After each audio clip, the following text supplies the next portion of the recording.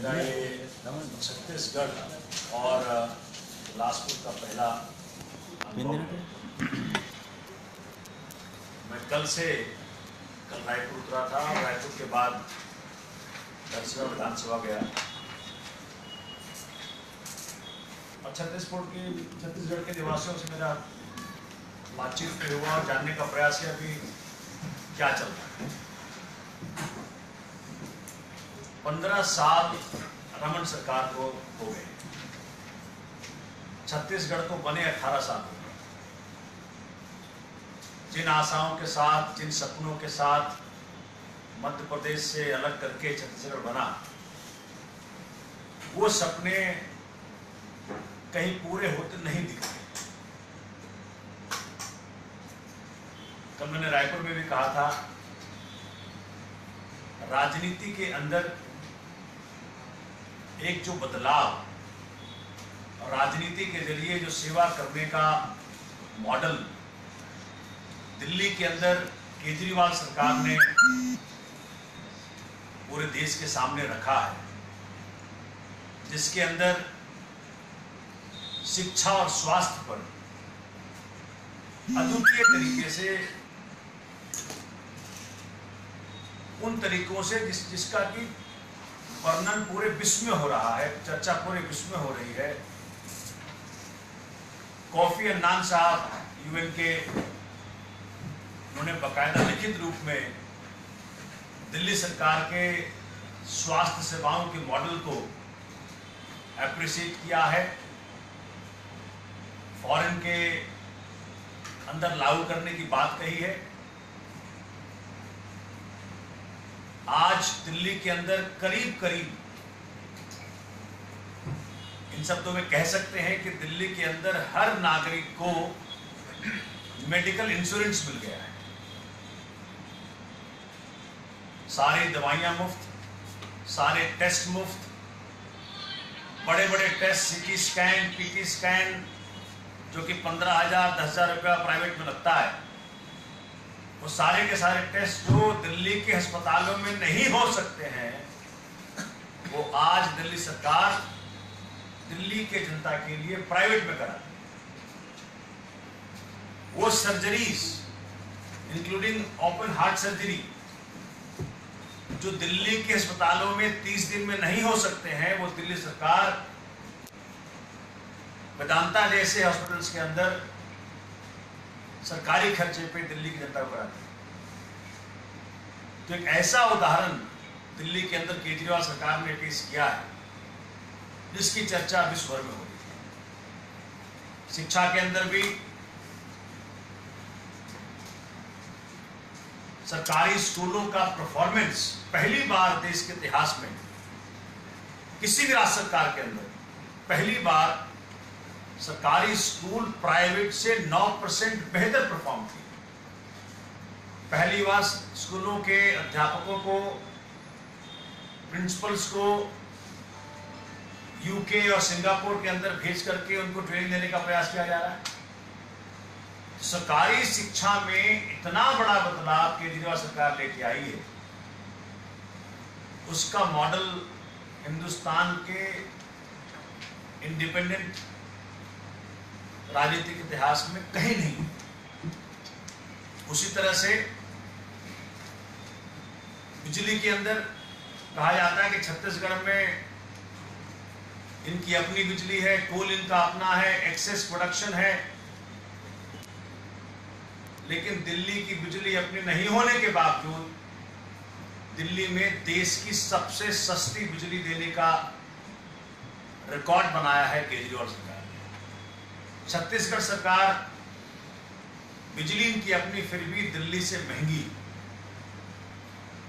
केजरीवाल सरकार ने जो वादा किया था दिल्ली की जनता को कि बिजली, आदि, पानी मुफ़्त, वो हमने आते के साथ कर दिया।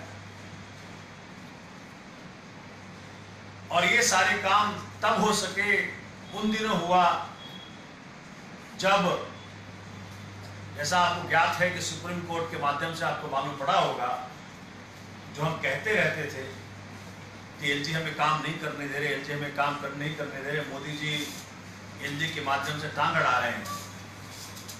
वो माननीय सुप्रीम कोर्ट ने इस बात को खुल्लम खुल्ला कह दिया और देश के सारे साथियों ने सुना। इनके लाख टांग अड़ाने के बावजूद शिक्षा, स्वास्थ्य, बिजली, पानी में हमने ऐसा काम करके दिल्ली में दिखाया है, जो कि पूरे देश के आगे नहीं, विदेशों में भी इसकी चर्चा है। उनके सामने एक ऐसा उदाहरण है कि अगर सरकार ईमानदार हो तो सब कुछ हो सकता है। हमने ये कर दिया। हमने इतना काम कर दिया, तीन साल में ही, इतने रोग के बावजूद भी जो कि रमन सरकार पिछले पंद्रह सालों में छत्तीसगढ़ में ना कर सकी। बिलासपुर शहर चारों तरफ़ खुदा पड़ा है। सीवर की इतनी बड़ी समस्या है। आपके ब्रिजेस नहीं बन रहे हैं। कहीं प्लानिंग नहीं है। ब्रिज अभी बना है, उसको फिर लंबा करने का प्रयास कर रहे हैं। जो क्षेत्र के विधायक हैं,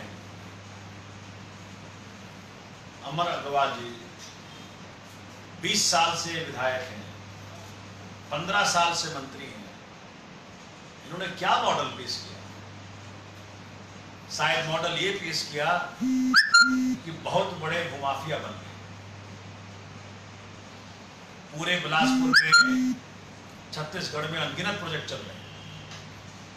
तो सरकार में कोई रहा हुआ व्यक्ति जब व्यवसायी हो जाए तो फिर जनता बिलखती है, जनता के पास, जनता के काम फिर नहीं होते। हमारा ये मानना है कि सरकार के अंदर जो व्यक्ति हो, वो सरकारी माध्यम से जनता के समस्याओं का समाधान लेके आए, ना कि अपना समय व्यवसाय करने में। साथियों चॉइस क्या है छत्तीसगढ़? एक तरफ़ रमन सरकार है, पंद्रह साल से। उनके सुपुत्र सांसद हैं, दामाद सुपर स्पेशलिटी के एमडी हैं, समधी कमीशन के चेयरपर्सन हैं। ये तो प्राइवेट लिमिटेड कंपनी है। और कह रहे थे कि नक्सलवाद खत्म हो गया और अभी जेट में सिक्योरिटी दिया है, अपने बेटे को। ये प्रमाण क्या है? ये तो प्रमाण है कि नक्सलवाद चरम सीमा पे छत्तीसगढ़ बनते वक्त छह से सात ज़िले कहा जाता था कि उस वक्त नक्सलवाद से प्रभावित था। और आज सत्ताईस में से अठारह डिस्ट्रिक्ट जो है, ज़िले जो है, वो प्रभावित है अड़तीस परसेंट आदिवासी साथियों की जो संख्या थी छत्तीसगढ़ में घट के बत्तीस परसेंट रहेगी या तो पलायन हो रहा है या उनको मारा जा रहा है। आदिवासी साथियों की समस्याओं पे चारों तरफ़ विफलता दिख रही है रमन सरकार की। और अपनी विफलता तो आदिवासियों पे बढ़ रहे हैं नक्सलवाद के नाम पे? ये दुर्भाग्य काश केजरीवाल साहब के पास एक पूर्ण राज्य की सरकार होती आधे अधूरे राज्य में मोदी जी के लाख टांग अड़ाने के बावजूद इतना काम करके हमने दिखा दिया। अगर हमारे पास रमन जी की तरह पूर्ण राज होता तो क्या न करते। छत्तीसगढ़ के अंदर आम आदमी पार्टी की प्रचार चल रही बूथ लेवल पे काम चल रहा है। कार्यकर्ता, जैसा दिल्ली में हमने करके दिखाया कि दिल्ली के अंदर एक ही मॉडल है काम करने का हमारे पास। डोर टू डोर हमारे पास पैसा नहीं है, मसल नहीं है। हमारे पास शराब देने को नहीं है, बिरयानी बांटने को नहीं है, पैसा बांटने को नहीं है, लेकिन हमारे पास वो जो जुझारू कार्यकर्ता है, जो कि छत्तीसगढ़ के घर घर जाएँगे, और मोदी जी ने तो गुजरात का झूठा मॉडल बेच करके प्रधानमंत्री बने। केजरीवाल साहब का सच्चा दिल्ली का मॉडल बेच हम छत्तीसगढ़ के निवासियों को बताएँगे, और दिल्ली मॉडल को घर घर पहुंचाएँगे छत्तीसगढ़ के और ये बताएँगे कि दिल्ली में, आधे अधूरे राज्य में अगर केजरीवाल साहब इतना कर सकते हैं तो छत्तीसगढ़ अगर पूर्ण राज्य जो है, वो मिल जाए तो क्या नहीं हो सकता है? छत्तीसगढ़ में दूसरा ऑप्शन छत्तीसगढ़ के साथियों के लिए आता है जोगी जी। अब जोगी जी क्या है? खुद तो है राजनीति में उनके बेटा, उनकी अपनी पत्नी विधायक है। बहु विधायक बनना चाहती है। दूसरा प्राइवेट लिमिटेड कंपनी हो गया। एक रमन प्राइवेट लिमिटेड कंपनी है, एक जोगी प्राइवेट लिमिटेड कंपनी और कांग्रेस, जब ये यूनाइटेड थी, तब ना डिस्प्लेस कर पाई बीजेपी को। आज जब कांग्रेस स्प्लिट हो चुकी है जोगी जी अलग हो चुके हैं। जोगी जी अलग चुनाव लड़ेंगे तो क्या चॉइस बनती होगी दिल्ली में पंद्रह साल की सीधा सरकार को भाजपा ना हटाए पाई आम आदमी पार्टी ने उसका ठीक उल्टा यहाँ है। छत्तीसगढ़ में भाजपा की पंद्रह साल की सरकार तो कांग्रेस ना हटा पा रही है, आम आदमी पार्टी उसको हटाएगी। साथियों,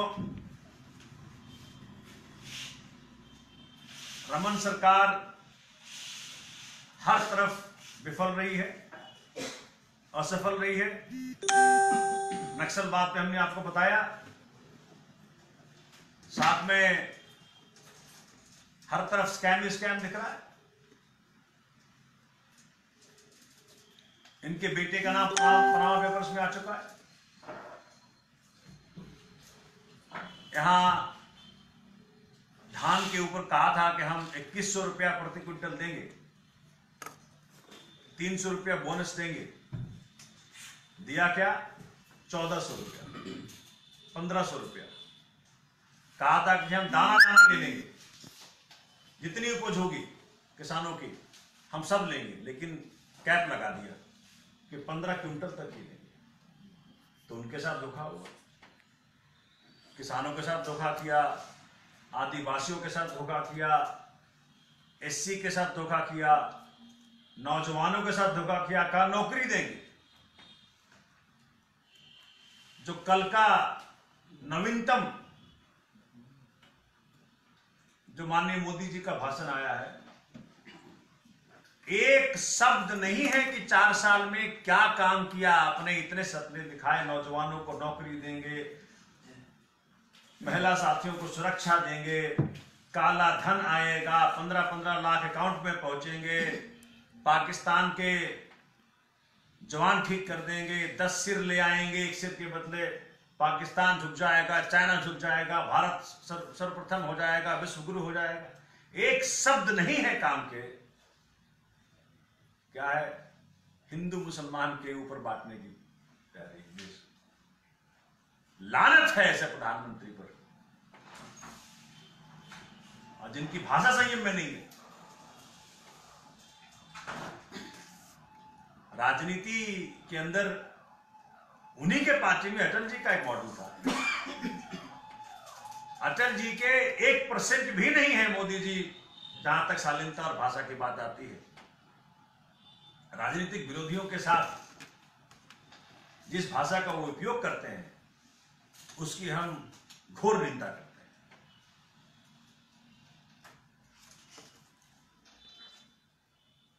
सोमनाथ जी।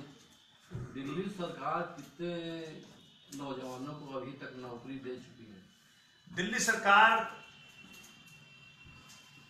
जो भी कुछ क्षमता है अपने अंदर, हमने तीन बड़े बड़े रोज़गार मेला लगाए। और कुछ नहीं तो दस एक हज़ार नौजवानों को हमने प्राइवेट इंडस्ट्रीज़ में रोज़गार मेला के माध्यम से प्लेस करने का प्रयास किया। दिल्ली सरकार के अंदर, आप देखें ना सर्विसेज़ के नाम पे क्या नौटंकी कर रही है वहाँ की मोदी सरकार एनजी माध्यम के ज़रिए। अभी भी सुप्रीम कोर्ट के सख्त जजमेंट के बावजूद कि सिर्फ़ लॉ एंड ऑर्डर पुलिस और लैंड ही आपके पास है एलजी साहब के पास, जिसमें भी उसके अंदर भी उनको काफ़ी डांट पड़ रही सुप्रीम कोर्ट से। कह रहे नहीं सर्विसेज़ तो हमारे पास है। गेस्ट टीचर्स को हमने परमानेंट बनाने की बनाने का प्रयास किया अपने चुनावी वादे के अनुसार। उसमें कहा कि नहीं, आप नहीं कर सकते सर्विसेज़ आपके पास नहीं है। गेस्ट टीचर के तनख्वाहें हमने पैंतीस कर दिया, पहली बार किया, दुगना कर दिया।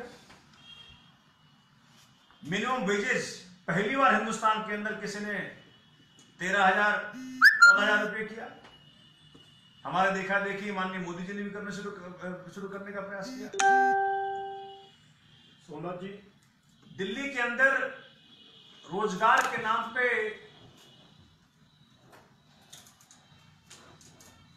हमने मिनिमम वेजेस गेस्ट टीचर्स रोज़गार मेला के माध्यम से करने का बहुत प्रयास किया। और बहुत जगह हमने हम सफल भी सोमनाथ जी दिल्ली और छत्तीसगढ़ के तासीर और भौगोलिक क्षेत्र में बहुत विषमता है। कहीं आप भ्रम में तो नहीं है कि छत्तीसगढ़ में हम दिल्ली को बनाकर मॉडल को जीत लेंगे? क्योंकि आपके प्रत्याशी भी बहुत प्रभावशाली तो कहीं से भी नहीं दिखाई दे रहे। मेरे साथी ऐसा है कि जैसे हमारे यहाँ के प्रत्याशी हैं वैसे ही दिल्ली के प्रत्याशी थे। वो शहरी कल्चर है ये ग्रामीण कल्चर है। देखिए सत्यता भूख शिक्षा की भूख स्वास्थ्य सेवाओं की भूख रोज़गार की भूख किसानों को उसके उपज के अच्छे दाम मिलने की भूख सब जगह है। पहली बार दिल्ली के अंदर हमने जो मुआवजा राशि अनाउंस किया अनपैरेलल था, पचास हज़ार रुपये प्रति हेक्टेयर दिया हमने। तो मूलतः, मूल समस्याएँ एक ही हैं हर जगह। और अगर उसको और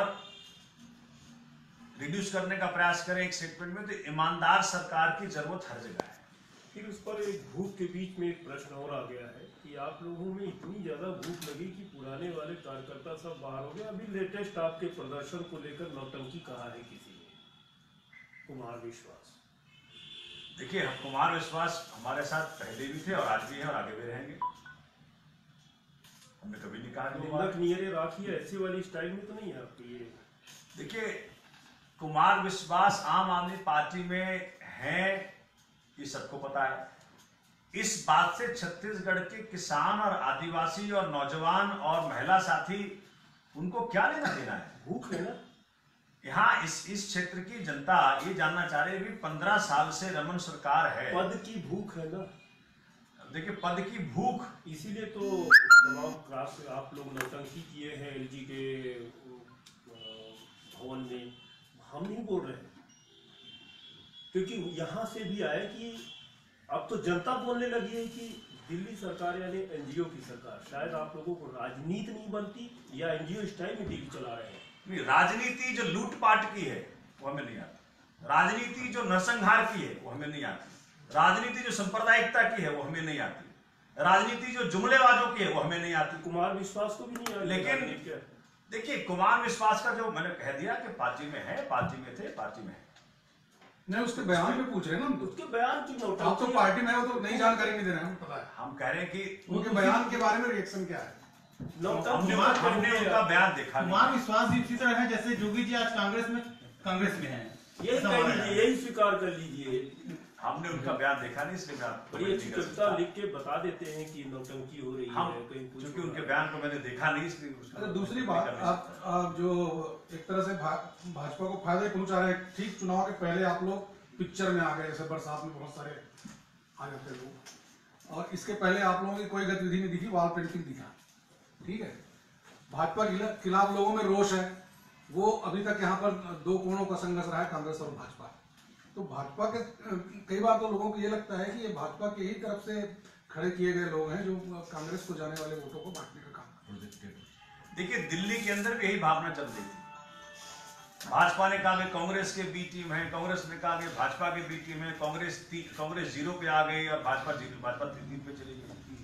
हम तो हम ना किसी के बी टीम है ना किसी के ए टीम है हम जनता के ए टीम है और जनता के बी टीम हम बिलासपुर शहर विधानसभा से हैं। बिरहा की समस्या उठाई गई बेलतरा की समस्या उठाई गई कभी कभी तखतपुर वाले भी दिख जाते हैं। बिलासपुर में आपकी सक्रियता क्यों नहीं? है ऐसा लगता है कि बिल्कुल प्री प्लान है। दो साल से हर प्रेस कॉन्फ्रेंस में ये प्रश्न पूछा गया है यहीं बैठे हैं चेहरे। बस अगली बार सीवरेज के खिलाफ। मैं पूछना चाहता हूँ कि ये समस्या आप लोगों की तरफ़ से क्यों नहीं उठाई गई?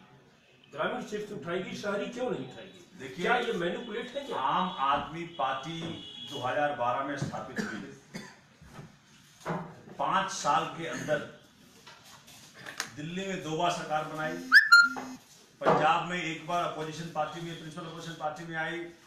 दिल्ली में 50 म्यूनिसिपल सीट्स पे आई।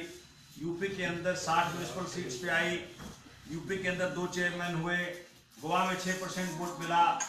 आज पूरे देश के अंदर हर कोने में आम आदमी पार्टी का प्रेजेंस है।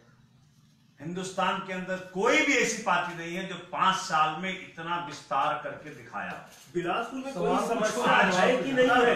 सवाल कुछ हो रहा है। आज आज हम छत्तीसगढ़ में आपके सामने बैठ के छत्तीसगढ़ की समस्याओं के ऊपर आम आदमी पार्टी का आगामी विधानसभा के चुनाव के अंदर जो आगमन है उसके बारे में चर्चा करें। जो पिछले बार किसानों का आंदोलन हुआ, उसके अंदर आम आदमी पार्टी के साथियों ने बचत कर हिस्सा लिया। हमारे कई साथी ग्यारह ग्यारह दिन जेल रह के आए। तो जिस तरह से आम आदमी पार्टी, नई पार्टी होने के बावजूद भी सर अभी जो लोग मैं लोकल साथी बात करेंगे नसबंदी कांड पे मैं कह रहा हूं- राइट टू रिकॉल किए हैं। किसी जगह जेल में डाला गया पेपर आपके आंदोलन कहीं नहीं दिखे सर। यही है दिखा है और बिलाहा में दिखा है और हर बार प्रेस कॉन्फ्रेंस में उठा है कि बिलासपुर की सीवरेज सबसे बड़ी नसबंदी तो अंतरराष्ट्रीय हो गई है। इसके बावजूद भी वो जीत गया। नसबंदी 2013 की है। चौदह की। उसके बाद भी निकार तोड़ वोट से विधायक या महापौर जीतता है। बिलाहा में एक्टिविटी दिखती है। बेलतरा में थोड़ी बहुत दिख जाती है। लेकिन बिलासपुर के प्रश्न पर जिस पर आप खुद अभी कोट किए हैं, कितने लोग आप लोगों के क्या आंदोलन किए हैं, ये जानना चाहते हैं। सब बैठे आप आप जो है, मेरे से पहले दिल्ली वाला पूछ लीजिए। जो संकेत जी हैं और जो हमारे लोकल साथी हैं, जो छत्तीसगढ़ के हमारे साथी हैं वो आपको लोकल समस्याओं के बिल्कुल सर क्योंकि आपको जानकारी ही गलत दी गई है यहाँ पर तो- तो दी गई थी। तो ये तो मैं चाह रहा हूँ कि जो एक संभावना रूपी केजरीवाल सरकार दिल्ली में दिखी है जो हमने करके दिखाया है उसके हर पहलू को छत्तीसगढ़ के घर घर तक पहुंचाएँगे। और एक ईमानदार सरकार क्या क्या कर सकती है उसको समझाएँगे। जहाँ तक बिलासपुर के लोकल समस्याओं की बात है मैं चाहूँगा कि जो छत्तीसगढ़ के हमारे प्रभारी हैं वो आपको इस बात पर अवगत कराएँ कि आम आदमी पार्टी छत्तीसगढ़ किस तरह से लोकल मुद्दों के ऊपर काम कर रहे हैं। एक प्रश्न आपसे ये छत्तीसगढ़ में भारतीय जनता पार्टी और कांग्रेस दो प्रमुख दल है अजीत जोगी भी अभी आए। यदि ऐसी परिस्थिति बनती है कि चुनाव बाद कुछ परिणाम कुछ इस तरह से आए कि किसी की सरकार नहीं बनती तो आप पहला दुश्मन किसको मानोगे? फ़र्स्ट एनिमी कौन है पॉलिटिकल पार्टी हमारे लिए सारे दुश्मन हैं। तो इस चीज़ को आप दे रहे हैं? मतलब ऑथेंटिक बयान है ये आपका? आगे आप कहीं किसी साठ घाट या किसी भी चीज़ से। नहीं हम तो कहा कि भाई इस वक्त देखिए कहते ना अंग्रेज़ी में when the bridge will come will pass हाँ। तो तो ये ये तो ये, ये वक्त नहीं है सवाल करने का। तो मतलब हम तो इस वक्त अकेले जा रहे हैं। राजनीति में सब कुछ जाए हम चुनाव के अंदर अकेले जा रहे हैं। आगे भी अकेले रहेंगे यही पूछ रहा हूँ। हमने तो कहा। चलिए हमने तो कहा। आप मतलब सभी नब्बे सीटों पर लड़ने जा रही है आपकी पार्टी? जी। कितनी सीटों पे जीत जाएँगे रहा है? देखिए हम हमने क्या कहा? हमारे मेरी मेरी पार्टी के अंदर ना तो पैसों का साथ लेते हैं ना मसल का साथ लेते हैं ना बिरयानी बांटेंगे ना शराब बांटेंगे। हमारा पास सिर्फ़ एक ही टूल है एक ही वेपन है डोर टू डोर घर घर जाएँगे जनता चुनाव लड़ेगी जो काम दिल्ली में करके दिखाया था वही काम यहाँ पे करने का प्रयास करेंगे कि जनता को स्थिति से वाकिफ कराएँगे और वहाँ अनुमान लगाए होंगे। नब्बे में कहाँ तक जा रहे हैं आप लोग? जब आप इतना दमखम के साथ आए हैं बोल रहे हैं। देखिए मैं कह रहा हूँ कि चुनाव हम लड़ते हैं जीतने के लिए। जी। और जो मैंने आपको शुरुआती बयानों में कहा कि भाजपा के पास पंद्रह साल का जो नाकामी का रिकॉर्ड है कांग्रेस यूनाइटेड होकर के भाजपा को ना हरा सकी। जोगी जी अलग हो चुके भाजपा को चुनौती देने वाला कोई दिख नहीं रहा। ये दिल्ली वाली स्थिति है। उसी को भुनाना चाहिए। दिल्ली की सरकार की स्थिति लेकिन इन इन दावों को कह रहे हैं कि मुंगेली लाल के सपने हैं। अजीत जोगी ने एक बयान में इसको कहा है कि जो नब्बे सीट जीतने का दावा कर रहे हैं वो मुंगेली लाल के सपने देख रहे हैं। जो नहीं हमने देखिए आपको शायद मैं याद दिलाऊं 2013 के चुनाव में जब हम गए थे दिल्ली के अंदर तो लोगों ने कहा था शीला जी ने कहा था कि अगर वो केजरीवाल जी अपनी सीट जीत ले वही काफ़ी होगा। अरुण जेटली साहब ने कहा था अगर छह सीट से ज़्यादा जीत लेंगे तो हम राजनीति संन्यास ले लेंगे। इसीलिए कोर्ट में नहीं तो सुषमा जी ने कहा था कि हम अपना बाल उड़वा लेंगे। दिल्ली का तो ये कहाँ- मैं ये कह रहा हूँ कि सुनिए मैं इतना कह रहा हूँ कि ये अरविंद केजरीवाल का चुनाव नहीं है। ये छत्तीसगढ़ की जनता का चुनाव है कि हम इनसे त्रस्त हो चुके ये जो हमें सेवा करने का छलावा देते हैं और अपना अंपायर खड़ा करते हैं इनसे हम त्रस्त हो चुके यही दिल्ली के कांग्रेस दिल्ली भी के- कह रही है। यही बात भारती जी ये तमाम देखिए, लंबी लंबी लंबे कांग्रेस लाइन के अंदर कांग्रेस के पास कहने का है नहीं क्योंकि कांग्रेस चॉइस में रही है यहाँ पे। हम हम तो चॉइस में पहली बार भारती जी एक मैं आपका आसान कर देता हूँ डॉक्टर संकेत ठाकुर जी भी आप भी दोनों लोग क्योंकि टाल देंगे आपके ऊपर ये हम जान रहे हैं। नब्बे पुनिया का दावा है। आपके लिए आसान कर रहा हूँ। बहत्तर जोगी का दावा है। पैंसठ अमित शाह है। आपका भी तो कुछ दावा होगा। ये पहली बात तो ये दावा दावा किस हद पे कर लेते हैं? क्योंकि छत्तीसगढ़ की जनता का मन क्या चुना लिए वो? शब्द- बदल देता हूँ। अनुमान तो छत्तीसगढ़ की जनता का मन। ये कोई कोई नापना है कोई पैरामीटर है दावा पैरामीटर है? दावा हटा देते हैं। अनुमान तो होगा। देखिए इसमें इसमें मैं एक चीज़ बोलना चाहूँगा नहीं देखिए बोलने के लिए कुछ भी बोले एक अलग बात है। सॉरी मैं क्योंकि कुछ मुद्दा बिलासपुर की बात आई इस सारे मुद्दों की लड़ाई की बात आई आपको शायद याद होगा कि अमर अग्रवाल के घर का घेराव करने हमें हुई। उसके बाद तो आप मैं बैठे नहीं है मैं आपको बताना चाहता हूँ। हमारा आंदोलन लगातार चल रहा है। उसके बाद से नेहरू चौक में अगर आम आदमी पार्टी धरना देती है तो गिरफ्तारी होती है। या की जानकारी में मैं समझता हूँ।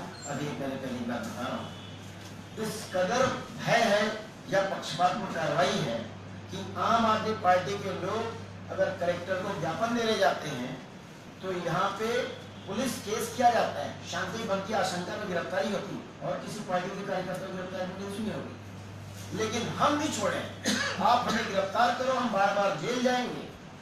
लेकिन हम विरोध करना नहीं छोड़ने वाले। ये बात बोलना दूसरी बात आपने कही। अमर अग्रवाल जी के खिलाफ अगर एक धरना भी होता है, दीवार पे कुछ लिखा भी जाता है तो बिगड़ता नहीं उनका। लेकिन आम आदमी पार्टी के कार्यकर्ता अगर वॉल राइटिंग कर देते हैं एसपी साहब आदेश देके पुलिस केस करते हैं हमारे आदरणीय महेश्वर चंदेल जी के खिलाफ। कहीं ना कहीं तो डर सता रहे इनको। आपको थोड़ा सा समझना पड़ेगा, आम आदमी पार्टी की स्टाइल ऑफ़ वर्किंग अलग है। हम आम जनता की लड़ाई लड़ रहे हैं। हम उस बोर्डिंग उस बड़े बड़े बैनर को लेके नहीं चलते। हमारा भीड़ वाला भी प्रदर्शन का तरीका कतई नहीं है। हम गरीब लोग हैं हम गरीबों की लड़ाई लड़ रहे हैं, जिसमें शक्ति प्रदर्शन हमारी राजनीति का हिस्सा नहीं है, ये मैं स्पष्ट कर दूँ। हमारा मूल मुद्दा यह है कि आम जनता की लड़ाई को लड़ना। इस लड़ाई के लिए शराबबंदी का आंदोलन अगर आपको ध्यान हो, छत्तीसगढ़ में अगर किसी राजनीतिक पार्टी ने शराबबंदी की लड़ाई लड़ी तो आम आदमी पार्टी लड़ी। वो रतनपुर की बात है, वो बिलासपुर की बात है रायपुर की बात। हम किसानों की लड़ाई लड़ रहे हैं। अमर अग्रवाल जी के खिलाफ हमारा लगातार बयान तो आते ही है, हम संघर्ष करते हैं। और आज मैं आपको बता दूँ, आम आदमी पार्टी की पहचान है पढ़े लिखे लोगों की पार्टी की। और एक सबसे शिक्षित व्यक्ति को अमर अग्रवाल जी के खिलाफ हम खड़ा कर रहे हैं। लॉ किए हैं एल एलएलएम है और पीएचडी है। जरा आप समझिए, इन राजनीतिक दलों के खिलाफ हम कोई मसल पावर से लड़ाई नहीं लड़े आम आदमी पार्टी दिमागी लड़ाई लड़ रही हम बुद्धि का इस्तेमाल कर रहे हैं। आम जनता के खिलाफ अगर लड़ाई लड़ना है तो वो शिवसेना टाइप या कांग्रेस टाइप की लड़ाई नहीं चल सकती।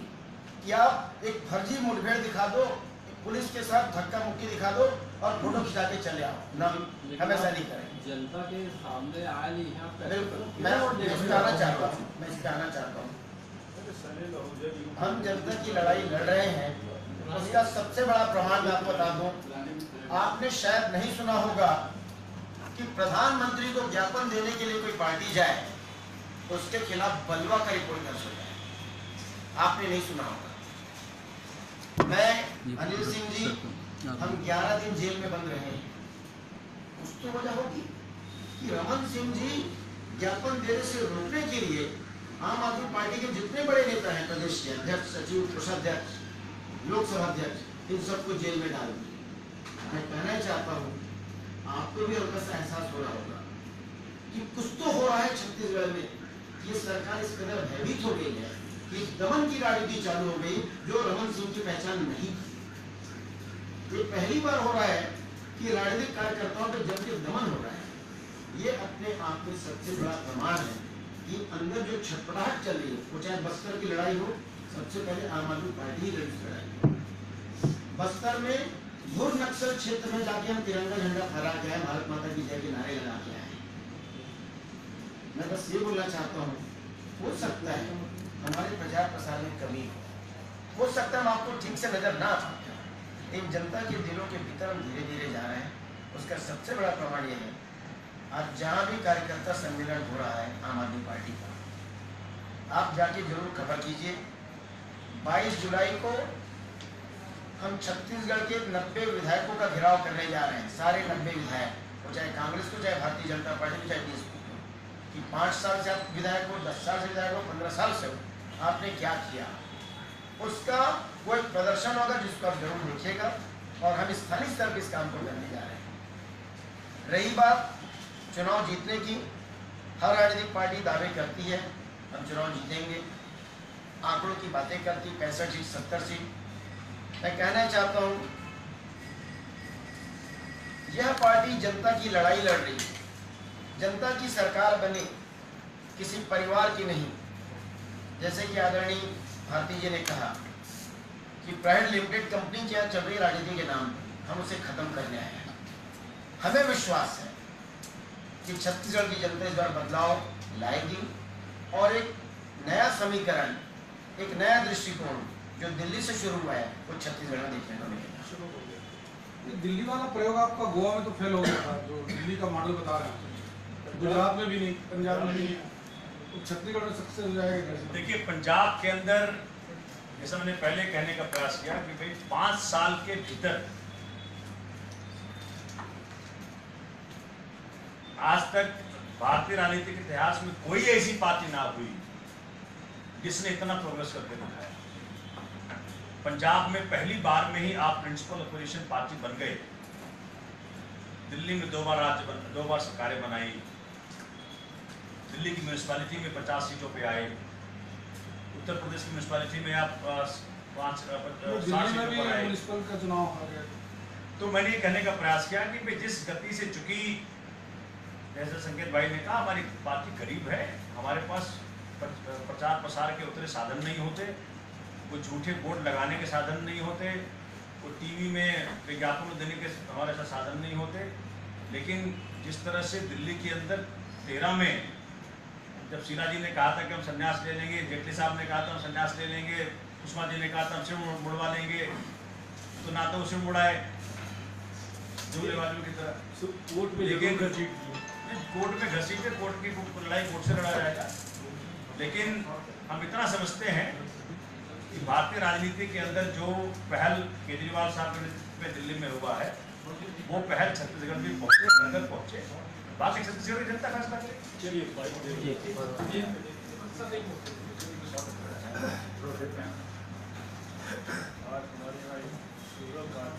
हमारे